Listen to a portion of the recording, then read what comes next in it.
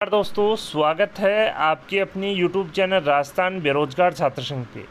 आज हम इस वीडियो में बात करेंगे पंचायती राज एलडीसी भर्ती 2013 की।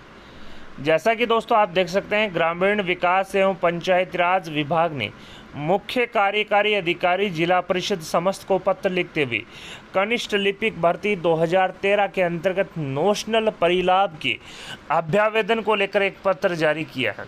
इन्होंने कहा कि उपरोक्त विषयांतर्गत जिला परिषदों द्वारा कनिष्ठ लिपिक भर्ती 2013 के अंतर्गत नियुक्ति प्राप्त कनिष्ठ लिपिकों को माननीय न्यायालय के निर्णयों के क्रम में नोशनल परिलाभ से संबंधित लंबित प्रकरणों की सूचना एवं उन्हें लंबित रखने के कारणों की सूचना निम्नांकित प्रारूप में जो सूचना है वो भिजवाई देनी है।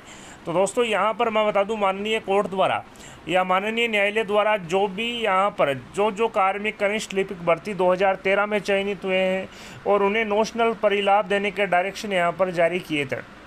तो कब वो डायरेक्शन जारी किए? साथ ही याचिकाकर्ता कौन था? इस संबंधी जो सूचना है, वो यहाँ पर मांगी है। साथ ही इन्होंने पूछा कि क्या याचिकाकर्ता को लाभ दिया है अथवा नहीं?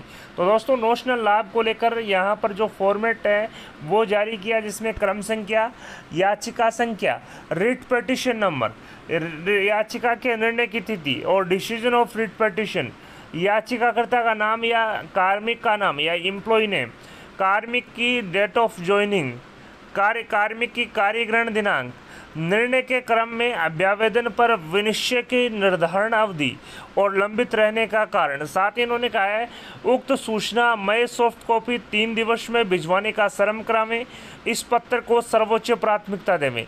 आप देख सकते हैं, ब्रजेश कुमार चांदोलिया, जो अतिरिक्त आयुक्त हैं एवं शासन सचिव हैं, प्रथम उनके digitally sign Rajkaj reference number दस, पचहत्तर, बयासी, इक्यानवे के माध्यम से छब्बीस सितंबर 2024 तीन बज के एक मिनट और अठारह सेकेंड पर यह पत्र जारी किया तो दोस्तों, कनिष्ठ लिपिक भर्ती 2013 में जो कार्मिक लगा हुआ है और जिसने माननीय कोर्ट के माध्यम से, माननीय न्यायालय के माध्यम से नोशनल परिलाभ के जो डायरेक्शन है, जो आदेश करवाए थे, इसी को लेकर उनको नोशनल बेनिफिट दिया जा रहा है या नहीं दिया जा रहा है? नहीं दिया जा रहा तो लंबित रखने का क्या कारण है? संपूर्ण जो बायोडेटा है, वो यहाँ पर ग्रामीण विकास एवं पंचायती राज विभाग द्वारा चाहा गया आप देख सकते हैं, इन्होंने कहा कि माननीय निर्णय न्यायालय के निर्णयों के क्रम में।